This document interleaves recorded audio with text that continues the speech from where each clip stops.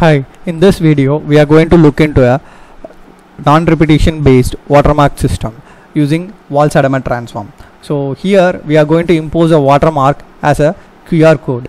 So the QR code information contains a camera information something like that, a serial number and the camera ID, the geolocation, date and time of a, uh picture or a video captured. So here we are going to store a original image into a img function and the watermark as a qr information. And then we are going to resize the qr into 29 cross 29 since the qr has uh, standard of 3m which has 29 cross 29 so once the qr is generated we are going to store the qr into one dimensional vector. Once we store the one dimensional vector we need to do the uh, Hadamard transform or Walsh-Hadamard transform for the original image. To do this original image Hadamard transform values, we are going to convert the pixels into 64 bi- uh, pixels in a black. So this black wise Hadamard transform has been done using a 1D Hadamard transform of 8 point in two manner. So one first it will do the 1D Hadamard transform for the row wise and it will do the 1D Hadamard transform in the column wise. So this will be explained with the Excel so here the coefficients are stored in a matrix of 1 to 64 with 8 cross 8 so initially it will go for the first row of 1 9 17 25 33 41 49 and 57th pixel. And then once it complete it will be stored in the row order. So once it's stored it will go for the second row of the pixels. And again it will do for the second row as a coefficient so and so on till the eighth row it will complete the Hadamard transform. Once it complete the 1d Hadamard transform function will be completed. Once it uh, the 1d Hadamard transform of 8 point completed we need to do the column wise 1d Hadamard transform of 8 point. So it will do for the 0 8 16 24 32 40 48 56th coefficients. Once it complete it will move to the next column. Again it will move to the next till the last column so once the last column is completed, the 64 point Hadamard transform of 2D function is completed.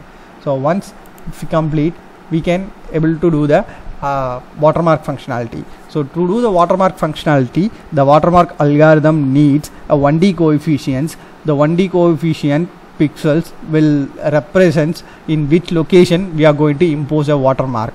So once to do the 1D Hadamard transform, we'll convert the 64 pixel into a matrix. Once we convert the matrix, we'll go for the 1D Hadamard transform of row wise. Once the row wise completed for the x1 functionality, we'll go for the column wise functionality of x2. So once the column wise functionality is happened, we need to impose a watermark in the 2D Hadamard transform.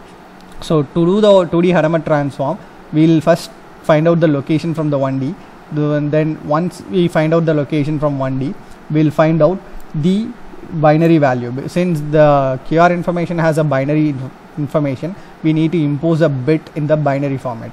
So to do the binary format the 2d coefficients has to be converted into a binary. Since the 2d coefficients are having uh, negative numbers these are converted into a uh, equivalent 2's complement equivalent positive number. So to do that we need to add 2 power n with a negative number which will become as a positive and we can able to convert into a direct binary using a decimal to binary functionality. So once if we convert into a decimal number we'll impose the watermark bit in the respective position of the uh, respective coefficients. Once if we impose the respective watermark bit in the respective coefficient we need to invert the uh, 2's complement equivalent into a original negative number.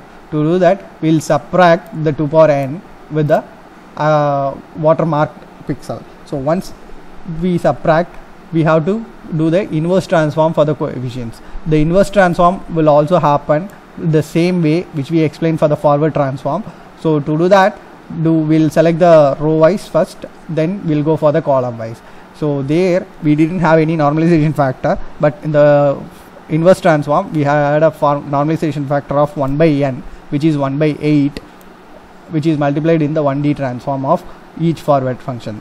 So once we invert back we'll reshape into 1d and then we'll reshape into a matrix dimension of image size. So which is 640 cross 480 so once we convert into 640 cross 480 we'll display the watermarked image as x5 in the figure 1 and the QR image in the figure 2 and the original image IMG function in the figure 3 so the P- uh, PSNR functionality will be calculated.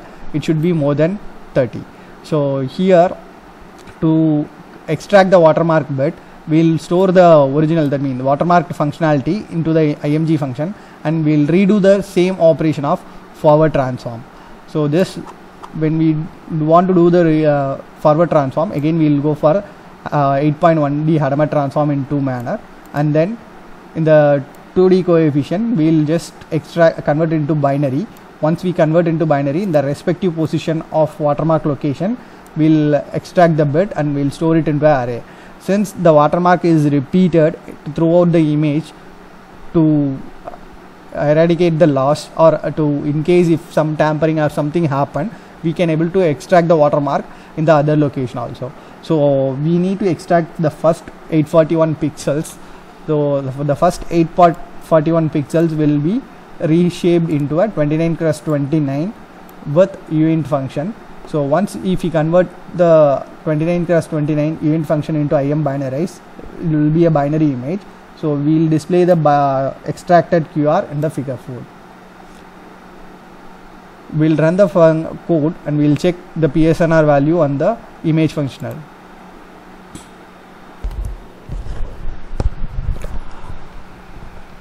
the execution has over. So the figure 1 and figure 3 are the original and watermarked image.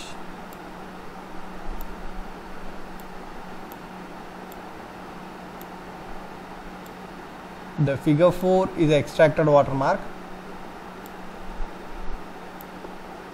and the figure 2 is a original watermark. Since it's 29 cross 29 we can able to see a small image. So this is uh, the figure 1 is a watermarked image. Figure 3 is a original image.